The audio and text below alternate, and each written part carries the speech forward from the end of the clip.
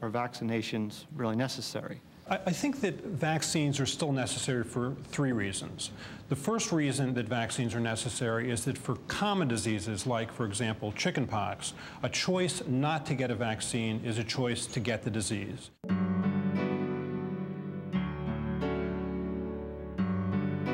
In most cases, it's a mild disease. Uh, in some cases, it's not. And it's in that, um, in this setting, in the emergency department, that we might see uh, patients who have more severe cases of chickenpox.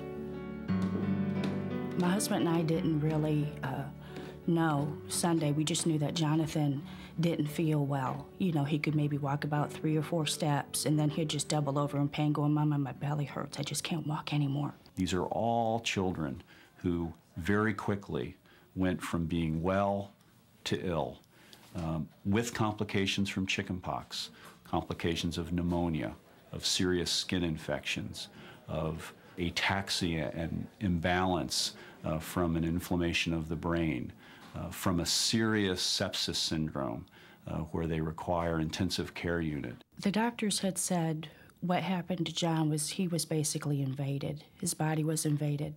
Um, the reason, one of the reasons why he couldn't walk was because his colon was lined with the chicken pox. Um, at the hospital, when they put a breathing tube down him, blood was coming out and they couldn't figure out why. One doctor said basically Jonathan bled to death because nothing would, you know, nothing would stop the bleeding. This is a mild disease in general but for a small group of children, uh, it can be a devastating disease. I went in and seen him after he was after he had died, and I just told him to save me a seat. You know, I don't get to kiss him goodnight. I don't get to give him a hug. Children are supposed to bury their parents. It's not supposed to be the other way around.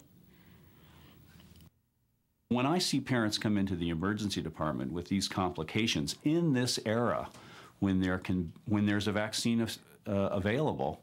Um, it is it's sad in some ways, and it also makes me think that we missed the boat as pediatricians.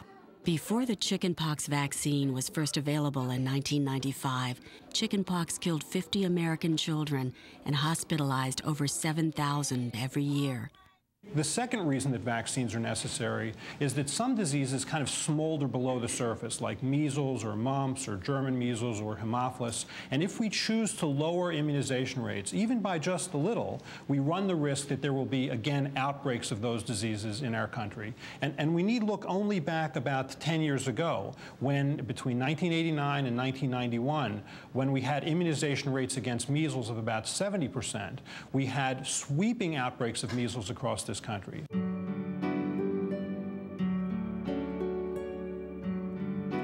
Philadelphia was not one of the first cities to have a major measles epidemic. Los Angeles, Chicago, and other major cities had it a year before, so we knew it was coming. Uh, we were actually advising parents before measles had, had entered Philadelphia that it was coming and that children, especially preschool children, needed to be immunized. The message went totally unheeded totally. Measles doesn't just hit the skin, it basically hits every organ system. So there's vomiting, diarrhea, and dehydration as well. And then the complications um, of the measles, the ear infections, the pneumonia, the seizures. Every day we were getting 30, 40, 50 cases of measles called into us. Um, and every case required that we investigate to confirm the diagnosis, to identify susceptible people around the case, and to work to try and get them protected. I got a call at 2 o'clock in the morning from the medical examiner telling me that a child died from measles. Um, and then at 5 o'clock in the morning, I got a second call telling me a child died from measles. And I said, Well, I, I actually got that call three hours ago. And the medical examiner told me, No, this is a second child who died. It was like why is this happening? How could a developed country that has the facilities, has the expertise, has the money to prevent these deaths, how could this possibly be happening here in Philadelphia? When the measles epidemic waned in the spring of 1991, we were able to document over 1,550 cases of measles in the city, and there were nine children who died from measles. The third reason that vaccines are necessary is that for diseases like polio or diphtheria, which have been either completely or virtually eliminated from this country, they haven't been eliminated from the rest of the world.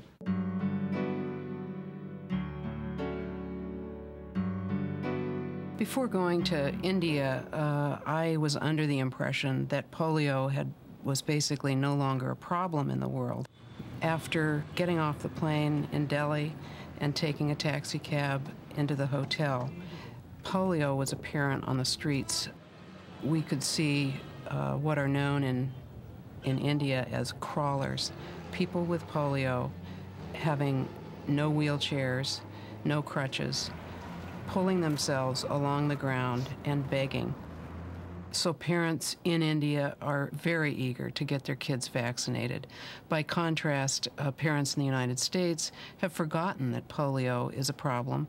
I mean, let's face it, the world's just not that big anymore. International travel is common, and when, when people travel, the germs that infect them travel with them. Recently, there was a little girl who came into Canada who was infected with polio. She was infected with polio because she'd recently been in a place where polio infections were occurring. Now, she was very contagious to those people in Canada, but the people in Canada didn't get infected because they were vaccinated with the polio vaccine. But if they hadn't been, the potential for an outbreak of polio was there.